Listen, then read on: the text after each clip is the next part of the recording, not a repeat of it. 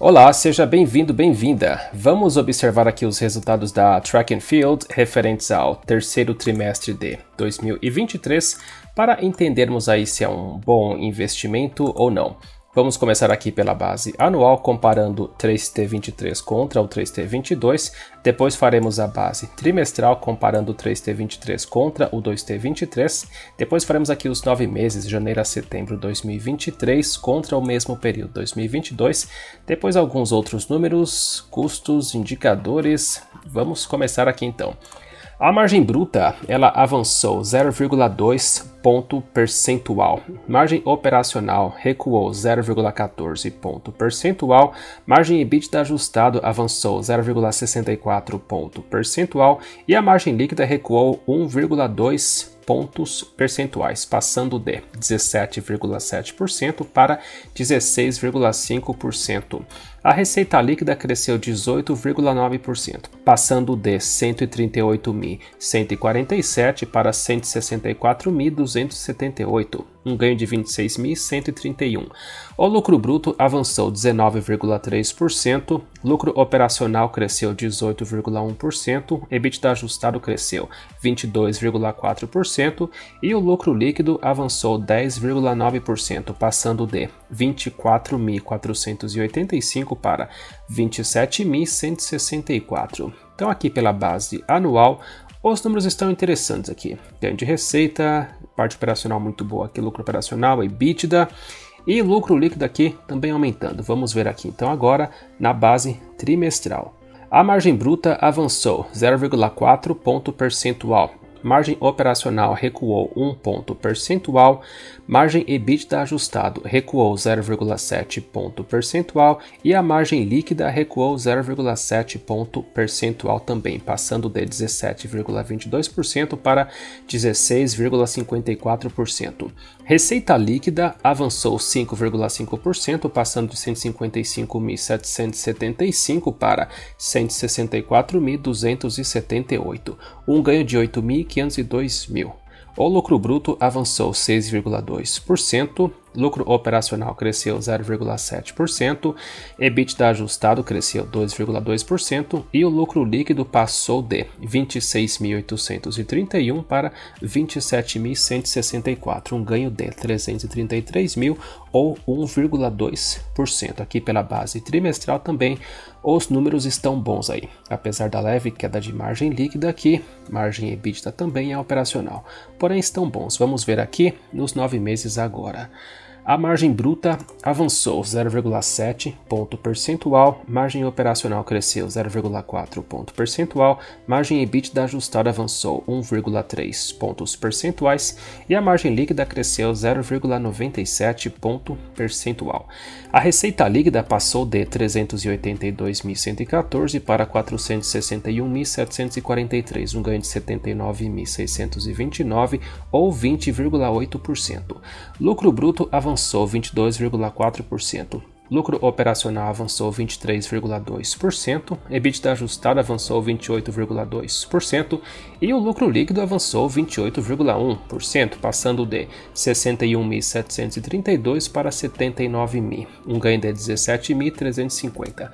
Pelos nove meses também aqui, os números estão bons. Vamos ver aqui então indicadores para entendermos aí se o preço da ação está justo, se está um preço bom, se está caro ou não. Vamos avaliar aqui agora então. A receita líquida últimos 12 meses está em 647 mil, com um lucro líquido aqui de 113.810, uma margem muito boa aqui de 17,6%.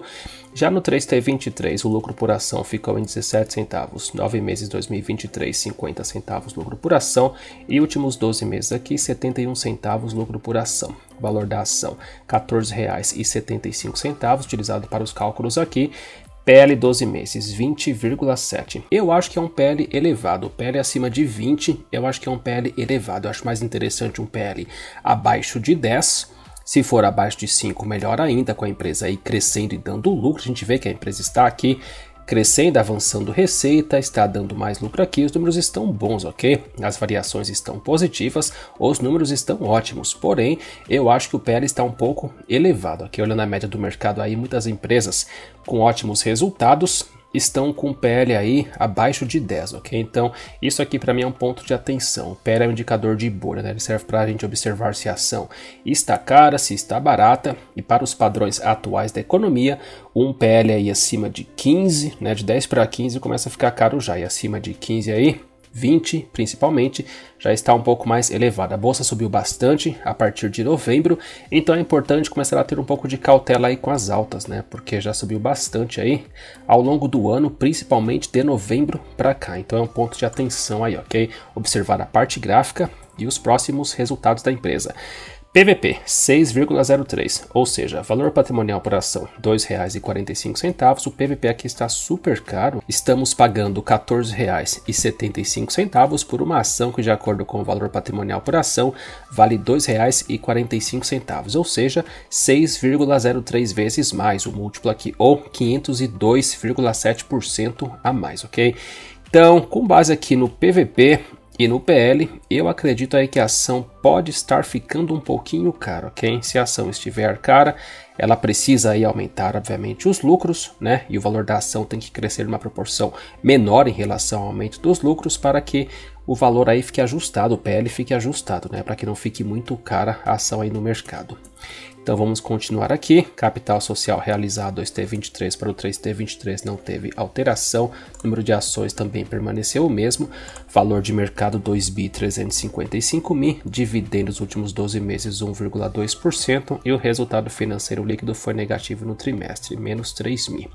Lucro acumulado 60.976. Retorno sobre o patrimônio líquido, muito bom retorno aqui, 29,1%, acima de 15% aí é um retorno muito bom. Então está ótimo. Aqui os números da empresa estão ótimos, ok?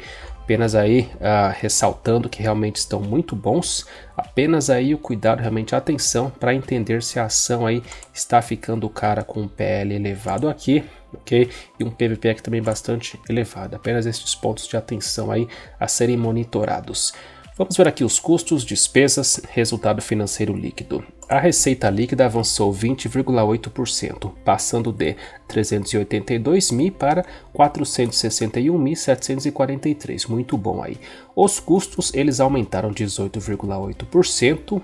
Com isso, fechamos aqui o lucro bruto 22,4% maior 217.881 para 266.584, um ganho de 48.703. Já as despesas, receitas operacionais, elas avançaram aqui, ó, 21,8% de 135 mil para 165 mil aqui negativos, despesas. Então tivemos aqui um lucro operacional 23,2% maior, de 82.407 para 101.546, ou 19 mil a mais. Resultado financeiro líquido aqui passou de menos 3.167 para menos 8.592. É uma despesa financeira que aumentou 171,3%, ou 5.425 mil a menos para os bolsos da empresa, já que é uma despesa financeira. Lucro antes dos impostos ele cresceu 17,3%, passou de 79.240 para 92.954. Adicionando imposto de renda contribuição social, fechamos aqui com o lucro líquido consolidado 28,1% maior, passando de 61.732 para 79.000. Excelente aí uma variação positiva de 17.350. Os números realmente estão muito bons, ok? A empresa parece estar muito bem aí administrada, então aí novamente somente ponto de atenção em relação ao valor da ação que pode estar ficando aí um pouco caro, ok? Se um PL estiver muito alto, isso compromete aí o crescimento do valor da ação ok? Vamos ver aqui brevemente a evolução do valor das ações este ano. Elas começaram o ano valendo R$ 10,04, com base na última cotação R$ 14,75, equivale a um ganho de R$ 4,71 por ação, ou 46,9% a mais. Já observando um ano atrás, elas valiam R$ 9,70, com base na cotação R$ 14,75, um ganho de R$ 5,05 por ação, ou 52,1% a mais, ok? Atenção realmente em relação ao crescimento do valor da ação. Vamos lá, ó. comecinho do ano aqui, ó, 2 de janeiro, R$ 10,04, passou um tempo aqui na lateral, né? Corrigindo aqui um pouquinho. E a partir do mês 4, 5, muitas ações passaram a subir bastante, aí galopando já antecipando a queda da Selic, né? Foi uma das ações que pegaram essa alta aí também. E aqui também pegou um pouquinho aqui do rally, né? De novembro, aqui já no finalzinho de novembro, ela começou a cair aqui. Novembro, meio de novembro já caiu aqui. Porém, ela conseguiu pegar um pouco aqui da alta, né? Do rally e subiu aqui, está nas altas aí do ano. Vamos ver lá antes. Vamos lá no comecinho na estreia aqui na bolsa, lá nos R$ reais em outubro de 2020 e ela atingiu a máxima aqui né, em 2021 lá nos 16, beirando os 17 reais. E foi um ano interessante aqui 2021, né? Muitas ações subindo no primeiro semestre, que não fez muito sentido, porque a Selic também começou a subir no primeiro semestre de 2021, aí fez aquela montanha lá, né? E chegou bem no meio do ano, as ações passaram a despencar, né? E a Track and Field seguiu esse movimento aí também, ó. Começou a cair bastante aqui, com a alta da Selic no meio de 2021, já atingiu atingindo as máximas lá, continuou subindo ainda a Selic e as ações passaram a cair, né? Atingiram as mínimas aqui de novo, né? De volta lá para menos do que valia antes da, da estreia na bolsa ali, R$ 8,75, R$ 8,00 aí, né? Batendo os R$ 8,00 lá para baixo e voltou a subir aqui em 2022, né? E com as correções aí com os resultados, vamos ver como é que estavam os números aqui, a receita aqui no meio de 2021 para ver se evoluiu tanto assim, né? Para justificar essas altas que nós estamos tendo agora. Vamos aqui, ó primeiro semestre 2021, aqui 2020, 2021, estava com a receita de 158 mil e um lucro aqui líquido de 20 mil. Segundo semestre a receita aumentou 276 mil aqui, cresceu 74,8% e o lucro aumentou também, né? A partir daqui do 1S22 a receita já caiu 11,7% e o lucro caiu 34,1%. Aqui 2S22 a receita aumentou e o lucro subiu, né? Então vamos observar lá no gráfico aqui, ó, 2S22 realmente aqui é no segundo semestre, ok? 2022 resultados bem melhores, porém ela voltou a corrigir aí no começo de 2023. Vamos ver como é que foi a transição ali do 4T22 para 1T23. Vamos lá, ó. 4T22, a receita cresceu 34,1% em relação ao 3T22, ok? Do 4T22 para 1T23, a receita caiu 23,5%, passando de 185 mil para 141.690. E o lucro também caiu natural, aí questão de sazonalidade, realmente, Natal, final de ano. O lucro passou de 34.728 para 25 mil uma margem aqui de 17,7%, e já do 1T23 para o 2T23 a receita voltou a subir aqui, ó, 9,9% a mais, e o lucro também subiu um pouquinho aqui, 7%. E aí já avaliado 2T23 para o 3T23, aumento de receita e aumento de lucro também, né? Então a gente consegue ver tudo isso aí realmente aí na parte gráfica, né? Bem observado aqui, já do 4T22 para 1T23 aí as eventuais correções do mercado e agora aqui, né, já subiu bastante este ano, está entrando aqui num possível padrão de correção, mas aí como ela subiu bastante, né, a partir aqui do mês 5, precisamos realmente ter um pouco de atenção agora em relação ao valor das ações, já que está com um PL bastante elevado ali na casa dos 20, ok? Aqui, ó, 20,7, ok? Bom, é isso que eu tenho para falar em relação a Track and Field. Se você gostar, por favor, curta o vídeo, deixe o like, inscreva-se no canal caso não esteja inscrito ou inscrita. No mais, desejo muita boa sorte para você, sucesso e até a próxima.